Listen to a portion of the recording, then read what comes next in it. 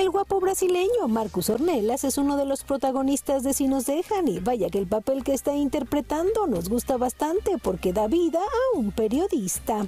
Por supuesto que sí, tengo, tengo mucho respeto a todos los periodistas por su trabajo, eh, pero sí es un trabajo bastante difícil, muchos, a- hay que reconocer que muchos están expuestos a- a cosas muy fuertes, ¿no?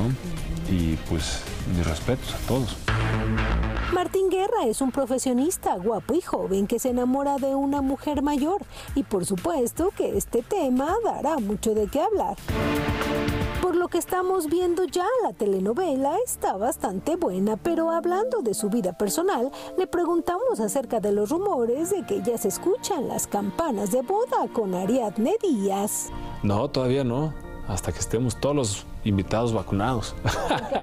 pues ahorita no es momento de hacer festejos de boda y eso, ¿no? Mi familia, mi parte de mi familia está en Brasil, entonces pues traerlos ahorita no es el momento, entonces más adelante. Pero bueno, la verdad es que la boda es, una mera excusa para festejar entre amigos.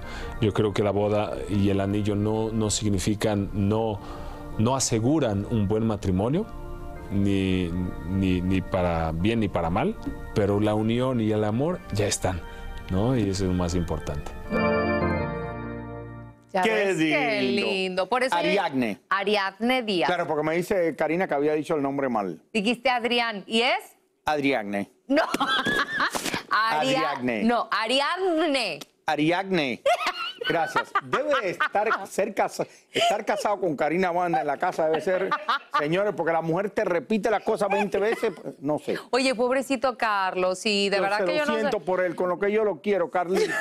Oye, Lo ¿sabes? siento, lo siento. Oye, sí, no, y ¿sabes también qué le pasa? Me está contando algo y siempre lo interrumpo tratando de adivinar lo que me va a decir. ¿A ti no te pasa eso? Mi esposa me pregunta, tú sa- me pregunta, ¿adivina qué? Yo le digo, ¿tú te crees que soy Walter Mercado? Mili, no adivino nada, dime qué cosa es.